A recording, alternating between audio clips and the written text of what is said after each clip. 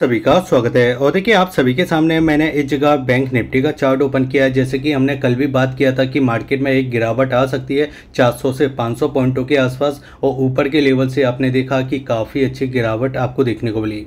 अब बात करते हैं कि मार्केट में कल कैसी ओपनिंग आपको देखने को मिल सकती है। कहाँ पर बाइंग या कहाँ पर सेलिंग करना चाहिए, उसके पीछे का क्या लॉजिक होने वाला है, सब कुछ बात करेंगे इसी वीडियो में। तो वीडियो को बिल्कुल पूरा देखते रहिए, चैनल को नहीं किया सब्सक्राइब, चैनल को सब्सक्राइब कर लीजिए। हम बात करते हैं बड़े पैटर्न पे बड़े चार्ट आपको कैसे दिखाई देते हैं? तो इस जगह देखिए, मैंने आप सभी के सामने वन डे का चार्ट ओपन किया है और वन डे के चार्ट पे अगर आप देखोगे तो आपको देखने को मिलेगा कि मार्केट ने देखिए जो ऊपर की साइड हाई मारा था, इस जगह पैंतीस हज़ार पैंतीस हज़ार पाँच सौ चालीस के समथिंग का, उस जगह से अगर आप देखोगे तो मार्केट में कंटिन्यू गिरावट आपको देखने को मिली। ऐसा हो क्यों रहा है? देखिए, मैंने आपको एक चीज़ बिल्कुल क्लियर किया था कि मार्केट में जो ऊपर वाला प्राइस है, यानी अगर हम बात करें इस जगह जो आपको प्राइस आपको दिखाई दे रहा है इस जगह मैं लिखना भी चाहूँगा, पैंतीस हज़ार तीन सौ सत्तर का जो प्राइस आपको देखने को मिलता है, ये एक रजिस्टेंट का प्राइस है। और मार्केट इसी रजिस्टेंस से नीचे की साइड आता हुआ दिखाई दे रहा है। अब देखिए, इसमें कैंडल कैसे बना है? अभी तक अगर आप देखो तो इसके अंदर कितनी कैंडल बनी है?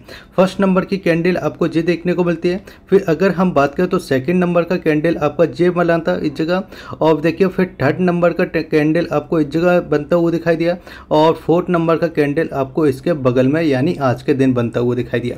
अब ये चारों कैंडल ने काम कैसे किया था? अगर हम बात करें तो यहाँ पे देखिए, जो बॉडी दिखाई दे रही है, उसके बाद फिर जो बिग बनते हुए दिखाई दिए फ़र्स्ट कैंडल में, उसकी ओपनिंग और उसका हाई उसकी ओपनिंग और उसका हाई आपका सेम था, ठीक है? फिर उसके बाद देखिए मार्केट ने एक और एक जगह देखिए मार्केट ने एक अच्छा बुलिस कैंडल बनाया, जिस बुलिस कैंडल में क्या हुआ था कि आपका जो ओपनिंग और हाई तो ठीक था, ठीक है? इसने क्रॉस भी किया था, लेकिन उसके बाद मार्केट में हुआ क्या कि इसने बिल्कुल अपने लो के आसपास, देखिए, इस जगह क्या दिया था? क्लोजिंग दिया था। फिर उसके बाद आपका दो कैंडल और बना था, जो कि आपका बिल्कुल सेम कैंडल था। यानी अगर हम बात करें, इस जगह सेम कैंडल बनता हुआ दिखाई दिया।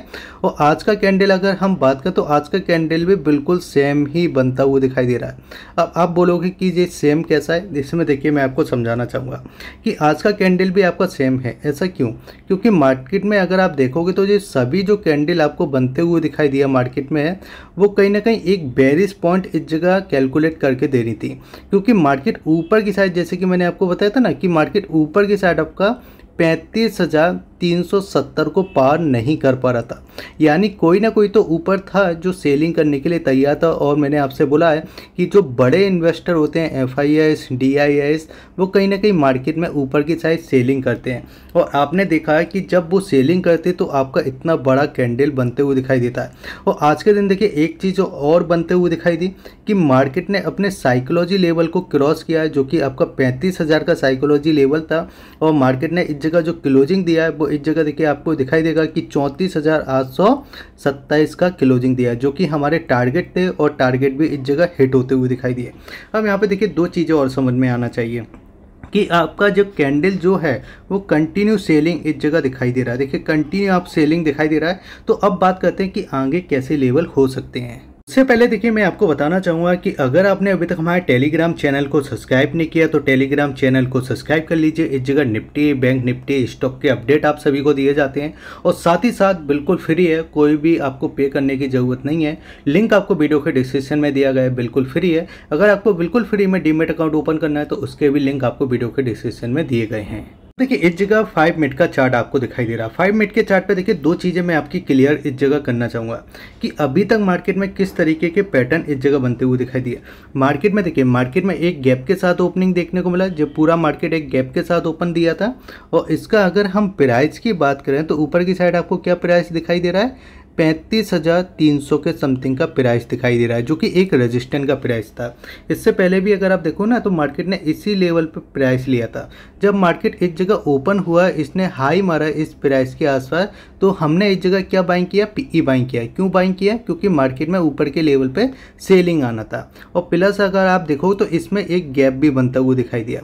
इसमें देखिए, दो चीज़ें आपको दिखाई दे रही है कि एक तो मार्केट इस जगह क्या करते हुए दिखाई दे रहा मार्केट डायरेक्ट नहीं आया, देखिए नीचे। पहले गिरावट आई गिरावट आई फिर उसके बाद मार्केट कंसुलेट किया। फिर गिरावट आई, फिर मार्केट कंसोलेट करता हुआ दिखाई दिया। तो हम इसमें पहला कॉल कैसे बाइंग कर सकते हैं, उसको आप समझिए। अगर मार्केट आपका फ्लैट ओपन होता है, इस जगह फ्लैट ओपन होता है, लेकिन फिर उसके बाद अपने लो को क्रॉस कर देता है तो हम इस जगह फिर से पीई बाइंग करके चल सकते हैं। क्योंकि देखिए, जो अभी तक मेरा ऊपर से सेलिंग का टारगेट था, वो इस जगह हज़ार पॉइंटों का सेलिंग का टारगेट था, ठीक है? लेकिन उसमें से अभी कितना सेलिंग आपका हुआ इस जगह चार सौ, साढ़े चार सौ पॉइंट के आसपास का इस जगह सेलिंग हुआ है। यानी मुझे अभी भी लगता है कि मार्केट में कम से कम 500 पॉइंटों की और सेलिंग आपको देखने को मिल सकती है नीचे की साइड।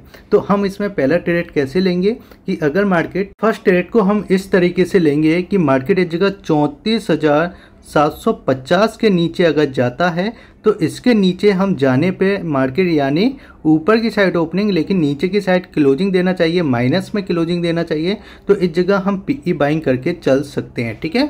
फिर हमारा टारगेट क्या होगा? तो पहले टारगेट की हम बात करते हैं। देखिए, पहला टारगेट तो आपका बिल्कुल बगल में होगा, जो कि चौंतीस हज़ार सात सौ का देखने को मिलेगा। फिर आपका जो दूसरे टारगेट की बात करें तो चौंतीस हज़ार इस जगह चौंतीस हज़ार 600 का देखने को मिलेगा। और अगर लास्ट टारगेट की बात करें तो ये आपका साइकोलॉजी लेवल के पास आ जाएगा चौंतीस के समथिंग यानी ऊपर के लेवल से भी अभी हमको जो इस जगह गिरावट दिखाई देती है, वो इस जगह 300 पॉइंटों की आपको दिखाई देती है और इस पॉइंट में आपको 300 पॉइंट इस जगह कंप्लीट हो जाएँगे। देखिए, आज का वीडियो का लाइक हम रखते हैं हम दो हज़ार लाइकों का तो मुझे उम्मीद है कि आप सभी लोग इसको भी पूरा करोगे। देखिए अब मैंने आप सभी के सामने इस जगह ऑप्शन चैन ओपन किया है, जो कि आपको देखने को मिलेगा कल का ऑप्शन चैन है, यानी 14 जुलाई का ऑप्शन चैन है। अब इस जगह देखिए, ऑप्शन चैन पे मैं आपको बैंक निफ्टी के ऑप्शन चैन पे मैं कुछ बात करना चाहूँगा। ये डेटा जो मैंने ओपन किया है, इस डेटा को पढ़ने का जो तरीका होता है, वो सबका अलग अलग होता है। लेकिन मैं इसको जो डेटा को पढ़ता हूँ, वो कहीं ना कहीं इस तरीके से पढ़ता हूँ कि मार्केट में मुझे लॉस कम चाहिए प्रॉफिट ज़्यादा चाहिए। अब इसमें अगर आप देखो तो यहाँ पे क्या दिखाई दे रहा है कि यहाँ पर दस लाख बत्तीस हज़ार के समथिंग का आपको इस जगह ओआई दिखाई दे रहा है, जो कि पुट के साइड का है, ठीक है? लेकिन इसी जगह अगर हम बात करें कॉल के साइड का तो कॉल के साइड का क्यों दिखाई दे रहा है ओआई आपको ज़्यादा? इसके बारे में मैंने आपको कल भी बताया था। कि जब मार्केट नीचे की साइड आता है, जैसे कि मान लीजिए कि आपने ऊपर की साइड किसी कॉल को दो सौ रुपये पर बाइंग किया वो नीचे आ रहा है कंटिन्यू इस तरीके से नीचे आ रहा है, ठीक है? इस तरीके से नीचे आ रहा है। तो जब आपने ऊपर की साइड सी ई बाइंग किया है और वो नीचे की साइड आ रहा है। तो आप क्या करोगे कि भाई आपने इस जगह दो सौ पे बाइंग किया तो और एक सौ और बाइंग करते हो, फिर एक सौ साठ पे और बाइंग करते हो, फिर इस जगह एक सौ चालीस पे और बाइंग करोगे, फिर इस जगह आपका और नीचे आएगा तो एक सौ बीस पे और बाइंग करोगे। तो इस तरीके से आपने बाइंग किया है एवरेज किया है, ठीक है? लेकिन हो क्या रहा है आपको? लॉस हो रहा है, इसलिए आप एवरेज इस जगह करते हो, ठीक है? तो ये कहीं ना कहीं गलत चीज़ होती है और जिसके वजह से जो मार्केट में आपको इस जगह ओआई बढ़ता हुआ दिखाई देता है। हम मार्केट में देखिए सपोर्ट एंड रेजिस्टेंट की बात करते हैं जगह, ठीक है? तो एक तो देखिए आपका साइकोलॉजी लेवल है, जो आज के दिन ब्रेक हो चुका है, ठीक है? अब मार्केट अगर इस जगह देखिए नीचे की साइड आपका जो इस जगह देखिए चौंतीस हज़ार सात सौ पचास। इसके नीचे जाता है तो आपको एक सेलिंग देखने को मिल सकती है, ठीक है? जो सेलिंग आपको देखने को मिलेगी वो चौंतीस हज़ार पाँच सौ, चौंतीस हज़ार चार सौ के समथिंग की आपको देखने को मिल सकती है, ठीक है? अब मार्केट में अगर हम बात करें तो ऊपर तो आप देखिए आपका बहुत रजिस्टेंट है ऊपर की साइड पहला रजिस्टेंट तो आपको पैंतीस हज़ार का ही देखने को मिल जाता है, जो कि एक बड़ा है इस जगह आप देखोगे तो ओआई आपको काफ़ी ज़्यादा देखने को मिलता है। यानी डेढ़ लाख के समथिंग तो इसी प्राइस पे आपको ओआई देखने को मिल जाता है, ठीक है?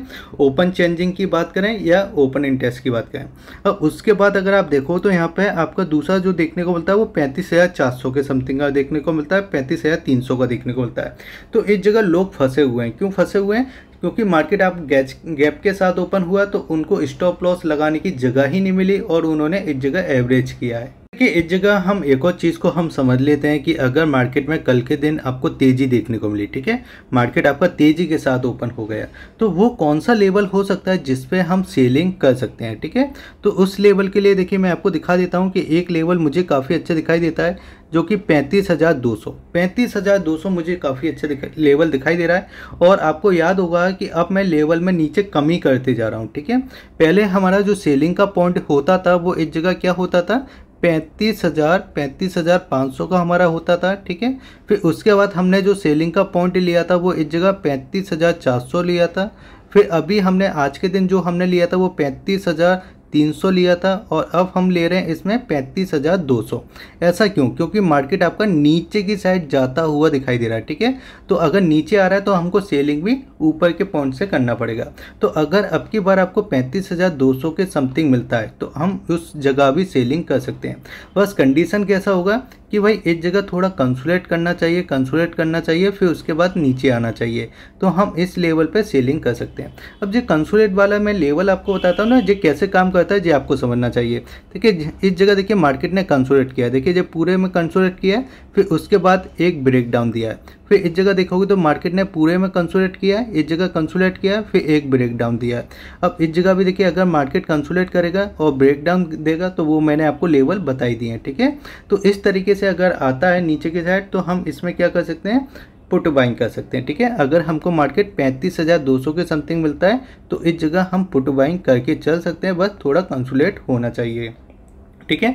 दूसरा कंडीशन है आपका मार्केट में कि आपका देखिए ओपनिंग आपका नीचे की साइड हो, लेकिन क्लोजिंग ऊपर नहीं होना चाहिए। यानी बुलिस में क्लोजिंग नहीं होना चाहिए तो हम इसमें काफ़ी अच्छी सेलिंग इसमें करके चल सकते हैं।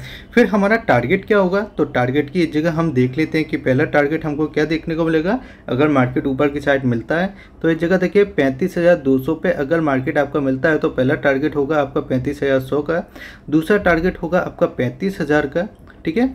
और लास्ट टारगेट आपका थोड़ा बड़ा टारगेट होगा, जो कि अगर हम बात करें तो अभी करंट प्राइस का आपको देखने को मिलेगा चौंतीस हज़ार आठ चौंतीस हज़ार आठ सौ पचास का, ये आपका तीन टारगेट मार्केट में देखने को मिलेंगे। ऊपर के लेवल पे अगर मार्केट मिलता है तो। कि हम मार्केट में बाइंग कैसे कर सकते हैं? इसको अपन समझते हैं कि भाई मार्केट में बाइंग कैसे कर सकते हैं? ये इंपॉर्टेंट चीज़ हो जाती है, ठीक है? तो वो भी मैं आपको बताऊँगा। उससे पहले मैं आपको बताना चाहूँगा कि हमारे टेलीग्राम चैनल को सब्सक्राइब कर लीजिए और अगर आपको हमारे पेड ग्रुप में ज्वाइन होना है तो हमारे लिंक से अकाउंट ओपन कीजिए Angel Zerodha Upstox L I के साथ और हमारे पेड ग्रुप में ज्वाइन हो जाइए, जिसमें आपको ऑनलाइन क्लास दिया जाएगा, निफ्टी और बैंक निफ्टी के अपडेट दिए जाएँगे। अब चलिए बात करते हैं कि मार्केट अगर नीचे के साइड आपको मिलता है तो वो कौन सा लेवल हो सकता है, जिस लेवल पे हम बाइंग करके चल सकते हैं। तो देखिए, मुझे एक लेवल काफ़ी अच्छा इस जगह दिखाई देता है, जो कि अगर हम बात करें तो जे वाला। देखिए, इस पर हम चांस ले सकते हैं, जो कि आपको जे वाला लेवल देखने को मिलता है, चौंतीस हज़ार चार सौ का।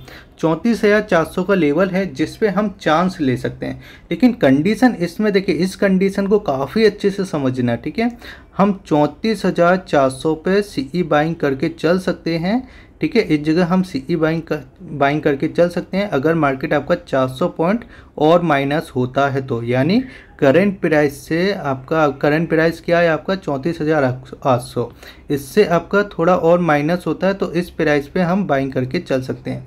लेकिन कंडीशन इसमें बहुत इंपॉर्टेंट है कि मार्केट में जो कैंडल बनेगा ओपनिंग नीचे ठीक है क्लोजिंग ऊपर ही होना चाहिए। इसके नीचे नहीं जाना चाहिए। मार्केट इस जगह थोड़ा कंसोलेट करना चाहिए। कंसोलेट करने के बाद ऊपर की साइड से ब्रेकआउट देना चाहिए। ऊपर की साइड ब्रेकआउट देना चाहिए। तो इस लेवल पे हम क्या कर सकते हैं? सीई बाइंग करके चल सकते हैं। इसको काफ़ी इंपॉर्टेंट है। मार्केट इस लेवल के नीचे नहीं जाना चाहिए। मैं बार बार बता रहा हूँ, इसके नीचे बिल्कुल नहीं जाना चाहिए। तो हम क्या करके चल सकते हैं? सी ई बाइंग करके चल सकते हैं। ठीक है? फिर हमारा टारगेट क्या होगा? तो पहले टारगेट की हम बात करते हैं इस जगह। पहला जो टारगेट हमको देखने को मिलेगा, वो इस जगह मैं आपको लिख के बताना चाहूँगा। पहला टारगेट आपका चौंतीस हज़ार पाँच सौ का देखने को मिलेगा। दूसरे टारगेट की अगर हम बात करें तो चौंतीस हज़ार छः सौ का देखने को मिलेगा और लास्ट टारगेट की अगर हम बात करें तो चौंतीस हज़ार सात सौ बीस का देखने को मिलेगा। ये आपके तीन टारगेट होंगे अगर मार्केट आपको नीचे की साइड मिलता है तो। बाकी मैंने सब डाउट आपके क्लियर कर ही दिए हैं तो वीडियो अच्छी लगी तो वीडियो को ज़रूर लाइक कीजिए शेयर कीजिए सब्सक्राइब कीजिए और हमारे टेलीग्राम चैनल को सब्सक्राइब कर लीजिए। आपके मन में जो सवाल है, आप मुझे कमेंट कर सकते हो। जय हिंद धन्यवाद